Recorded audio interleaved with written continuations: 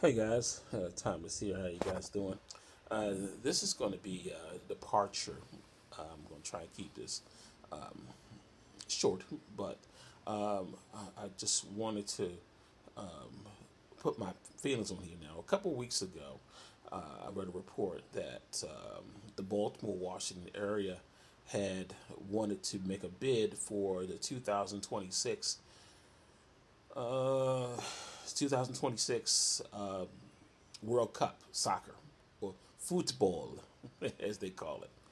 And uh, they, I was reading the comment in the, in Baltimore Sun uh, saying that um, they put the they put a strong bid in, but um, for some reason uh, nobody wanted to come.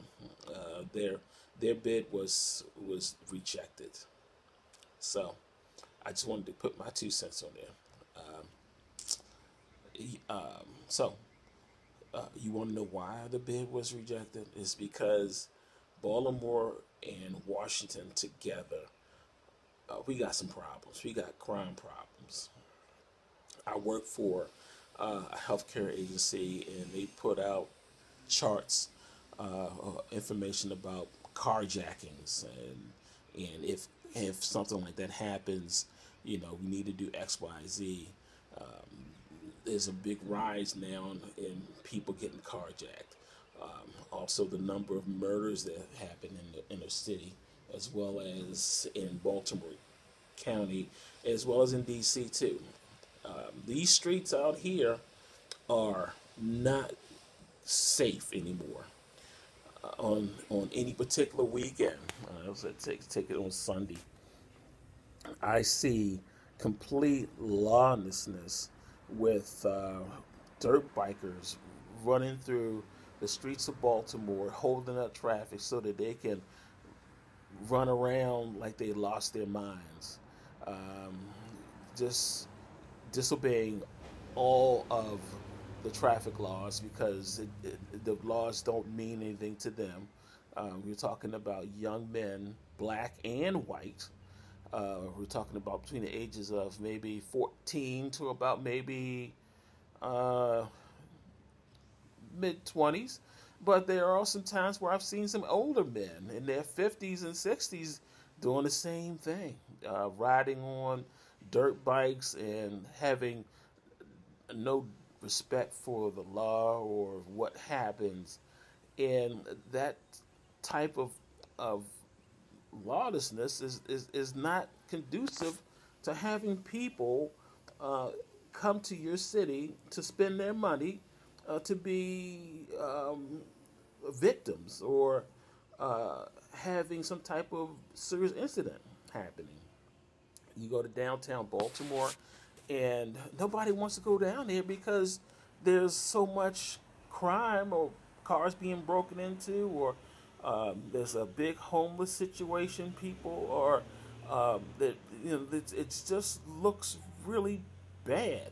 So how are you going to put a bid in where you want um, people to come to a city that's unsafe i'm serious that's ridiculous the the number of murders in Baltimore City is is last year was over 200.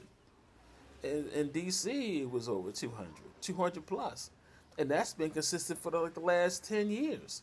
So, plus the crime statistics show, has shown that a lot of city crimes has increased, and the police don't want to do anything about it because of Freddie Gray. So, who's going to protect them? They, they're just going to be a statistic. So I, I'm I'm sorry. I, you gotta if you want people to come, you got to make this city a lot more safer for, for good folk to come in there to spend their money. And if and if it's dangerous, people vote with their feet and they're gonna vote with their dollars.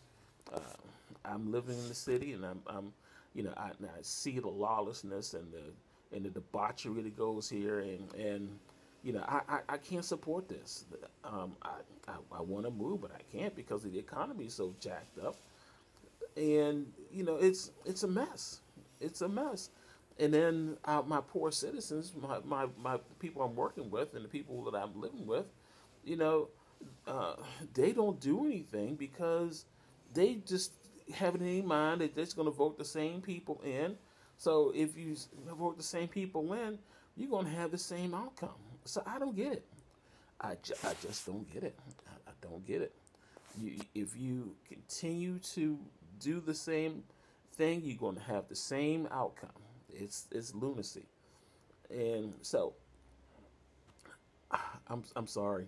Uh, uh, when I was in the tenth grade, uh, we had a mayor, Mayor um, Schaefer. Um, so he became the governor, and then he also became um, the city, the, the state comptroller, and he was a advocate of the city, and he made sure that the, the schools were clean, make so the streets were clean. He made sure that everything was running. The, the people were doing what they need to do. Now they don't. They don't care. They don't care. This, this is complete lawlessness in here. So uh, I, I just don't. I just don't get it. But anyway, that's just a rant. So I know I'm preaching to the choir. So just listen to me. I'm sorry, but I'm I'm, I'm feeling pretty. Uh, I'm, I'm feeling pretty uh, sensitive about that. Okay. Well, you guys have a good weekend, and I mean, good week, and um, talk to you later. Bye bye.